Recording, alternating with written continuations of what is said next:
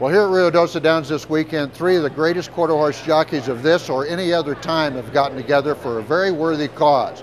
G.R. Carter, Cody Jensen, and Jerry Nicodemus are signing cards produced by artist Jenny Harding in order to benefit injured quarter horse rider Tad Leggett. Tad Leggett's been a rider for, for many, many years. We all know him. He's been all over this country. He's, he's rode some of the biggest race horses and the biggest races around. And unfortunately, Tad went down and uh, had a severe spinal injury earlier this year in uh, Tulsa.